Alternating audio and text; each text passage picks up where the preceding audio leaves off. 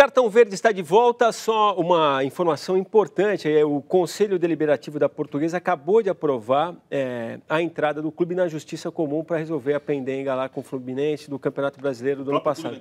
É, a ação é uma outra coisa, mas está deliberado e aprovado que se vá à Justiça Comum Só para explicar disso. o procedimento, a FIFA pode pedir a CBF, que pode pedir a Federação Paulista de Futebol, estão intimamente ligadas à desfiliação da portuguesa. A seguir, é um direito, é um a seguir cenas dos próximos é um direito, capítulos. Diria a vocês que chegou a hora da sempre aguardada, dividida com o Riva, o torcedor que nós vamos ouvir aí na sequência. Diria que entendeu totalmente o espírito do nosso quadro, vocês vão ver. E eu lembro que vocês podem entrar nessa dividida com o Riva também. É só gravar a sua pergunta e nos mandar o vídeo através da página do Cartão Verde na internet, que vocês estão vendo aí. Tem um logozinho aí no lado esquerdo da página, quem está olhando aí de frente. Segura aí, Riva. Eu posso participar de um desses? Que o negócio é contigo. Pode, pode. Podia botar mais bonitinho. Está no site, ué. Vamos à dividida. Eu vou.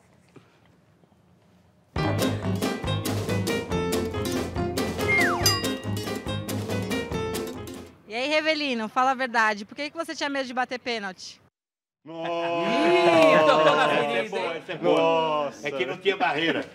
Porque se tivesse barreira no pênalti, eu batia todos. Não tinha referência? Não tinha referência, né? Eu tinha referência. Mas acontece que eu nunca, eu nunca neguei, nunca, eu não sabia bater pênalti. Impressionante, eu, eu, eu vivia não, lá. Você acreditava que não sabia, por isso não sabia. Não, você é sabia. porque às vezes as pessoas não é possível. Falavam, falavam, como é que você pega, às vezes, faz falta, mete lá, põe não sei o quê, de repente lá no Fiz gol no meio do campo, você... eu não ia fazer de pênalti. É, aliás, na minha vida eu bati dois pênaltis. Um, um eu bati em Ribeirão Preto, uma, um torneio com o Corinthians, bateu na trave. Foi o último. E o outro foi em, contra a seleção da Polônia no, no, no Morumbi. Eu era o capitão. Aí o jogo foi pênalti. Aí o pessoal falava, Paulo César, bate? Não, não vou bater. Reinaldo, bate, não vou bater. Você bate, não... ninguém quis bater. Eu falei, mas pô. Tô... Aí eu falei, tomou atitude, capitão, capitão né? Eu falei, pô, peguei a bola, pô, seja o que Deus quiser. Eu botei lá e dei uma varada e entrou. A bola fez o gol, os caras iam me abraçar, ninguém me abraça. Sai, ninguém não me abraça. Mas realmente, olha, eu não, eu não tinha. E, Marrei! E, e, naquela, e naquela época, naquela época também não tinha muito negócio de pênalti. É, hoje, hoje é mais fácil você estar pênalti toda hora, essas competições com pênalti, a gente não tinha. Aqui e se eu, inventa pênalti. E, é, e, eu, não, e eu não tinha, eu, não, eu, eu, eu treinava a falta, minhas faltas, e, e dificilmente eu batia pênalti. E sempre tinha um que batia pênalti, que na minha época, o Aladim que eu quando jogava batia muito bem, e outros jogadores batiam falta, o pênalti, mas a falta era minha, pênalti não. não mas se tivesse uma barreira, Vitor, sinceramente, se tivesse barreira seria mais fácil para mim. Falei que por causa da referência ou por causa da pressão? A referência. Porque o pênalti me parece muito mais pressão do que referência. Não, não eu tinha referência gozada da barreira. Tanto é que, às vezes, uma vez eu jogando com a América do Rio Preto, de, de, de do, do, do, do, Rio, aliás, Campeonato Brasileiro, uma falta boa, até uma, uma distância mais ou menos o goleiro falou, sem barreira. Aí eu falei, pô, e agora, né? Pô, eu falei, pô, eu, eu, eu, eu já me, me, quebrou, né? Mas foi gozado que nesse dia eu fui feliz, falei, vou meter um três dedos, que eu, sabe? Falei, vou dar um chute de três dedos que eu tinha, que eu tinha Aí meti o gol. Aí teve outra falta, igualzinho, o goleiro abriu de novo. Eu fui lá e fiz outro gol. Graças a Deus eu fiz dois gols. Mas eu, eu perdi. Goleirinho inteligente esse. Não, não, ele foi inteligente. Acontece que eu estava. Eu, eu tava realmente fui feliz de acertar. Você imagina, quanto o goleiro foi, foi criticado no dia seguinte, porque tirou a barreira na falta do Riva. Mal sabem as pessoas que, que o Riva complicou a vida do Riva tirando a, Souza, a eu quero saber né? o seguinte: tiver pena pro São Paulo, você bate? Não, Rogério. Luiz, deixa eu... Não é muito a tua, né? Você Nunca fez foi. poucos gols na carreira, né? Poucos gols na carreira, fiz. Tem conto no dedo. No até. Porto, eu lembro de um golaço, acho que o seu o primeiro gol tá... no Porto foi um gol de fora jogo. da área. Né? Liga Europa, é. Jogo da Liga Europa. Quero, quero uma sinceridade, né? Quero mas, mas pela altura dele, hoje ele, ele tem. É, no Grêmio eu já fiz, fiz quatro gols no Grêmio. Oh, tá bom. Três de cabeça. Foram três de cabeça. O, o, ano passado eu fiz o último com o pé contra o Santos na Copa do Brasil. Foi o único com o pé. E, e, outros eu, eu sempre sirvo muito, que eu sempre eu costumo puxar o primeiro pau ali. A gente estava comentando no treino um dia desses, até o, Lu, o Luiz Ricardo e o próprio Ganso, a gente conversando, que contra o Português e contra o São Paulo, eu, eu sempre puxo ali, desvio, né? Um gol fez o Kleber, contra o São Paulo foi o Kleber, um a um na arena, e, e contra a Portuguesa foi o Barcos. E eu sempre faço isso, raspo, a bola, minha bola nunca entra. Sempre alguém que está chegando no segundo pau lá faz. É pela altura eu costumo sempre raspar, ou em direção ao gol, mas nunca vai. Mas está tudo, tudo bem, desde Pô, que sai o gol. O cara, o cara é tão alto que jogou de zagueiro, né? Alguém te mandou para o meio campo de Porã? É, não, eu cheguei, cheguei no Vasco com, com 9 anos de zagueiro. mas não durou até os 10. Aí me botaram para volante. que ele está passando, que ele jogou Você que gosta do futebol, você não quer saber por que ele gosta de jogar de volante? Porque participa mais do jogo, cara. Ficar de zagueiro, fica dando uma olhada lá. Hoje em dia, então, o volante participa do participa jogo, que é uma beleza. Eu, eu, eu, eu, sinceramente, eu falei pro pessoal sair do Morumbi esgotado totalmente. Porque eu já tinha jogado aqui contra o, contra o São Paulo pelo Grêmio. As duas vezes eu venci até. Foram pressionados no último jogo, arranjaram um gol Muito no final. Muito pressionado, mas vencemos. E, e, e, jogar pelo São Paulo aqui, a pressão de você ter que atacar mais, defender mais. E, eu saí Haja muito esgotado daquele jogo. É isso jogo. que eu ia falar, porque ele saiu do Grêmio, que era um ferrolho. Renato jogava sem meia, era quase uma linha de cinco lá no meio campo. E o Barcos adiantado, quer dizer, tem cobertura, tem marcação. Para vir nesse São menos. Paulo, que o lateral avança muito, Corre marca bem. mal, é eu, eu senti muita diferença até nisso, assim, de, de chegar aqui, aqui no Grêmio.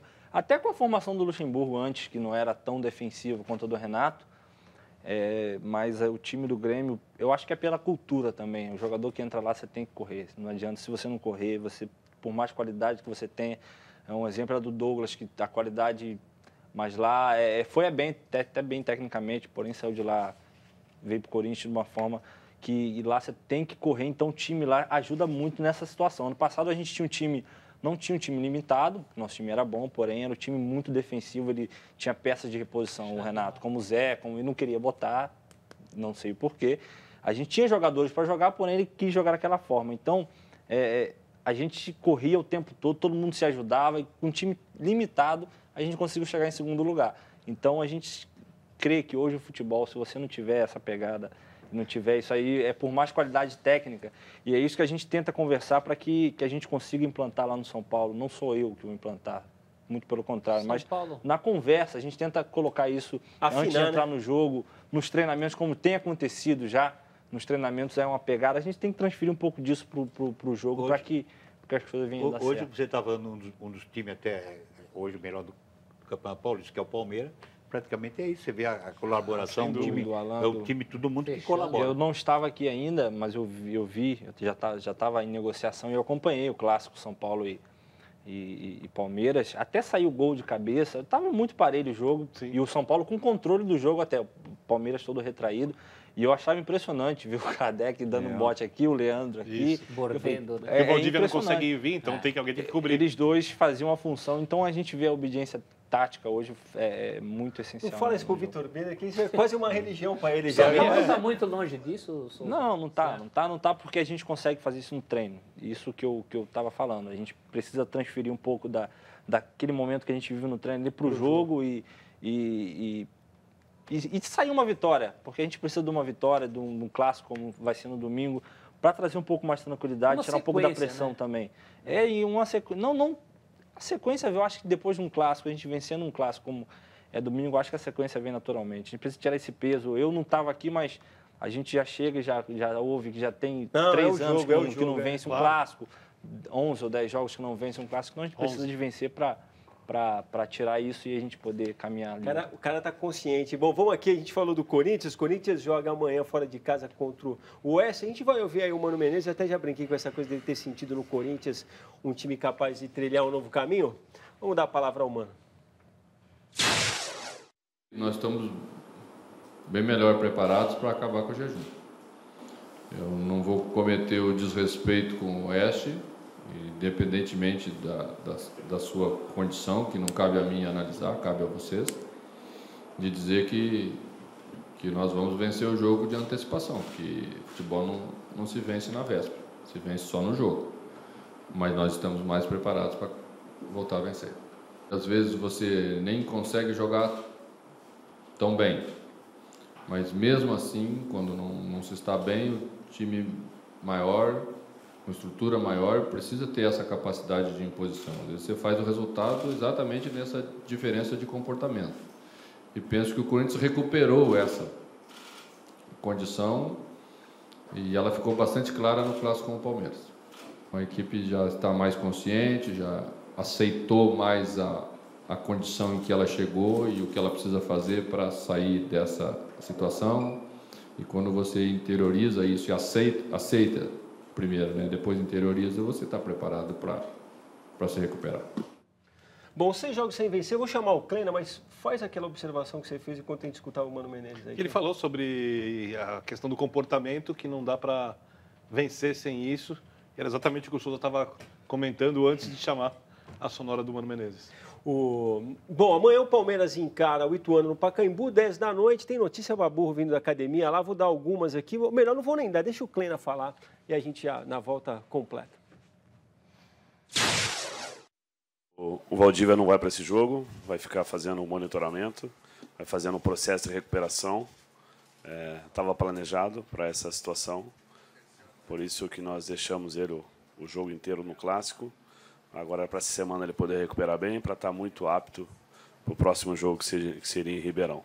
O planejamento, desde quando ele chegou, foi com que ele tivesse uma situação ideal, aceitável, entrar já encontra-se uns níveis que a gente entende pelo futebol da intensidade que nós estamos adotando.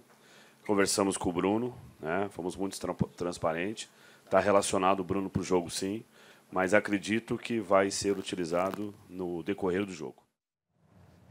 Tá certo. Bom, o Medieta que volta de lesão deve ficar no meio ali. O Wesley e o Wellington, problema de, de muscular, estão fora. O volante Josimar deve estrear. São essas, em linhas gerais, as notícias para os torcedores do Palmeiras. Vamos fazer rapidinho, então, nosso último intervalo. A gente ainda tem aí cartões verdes e vermelhos para distribuir.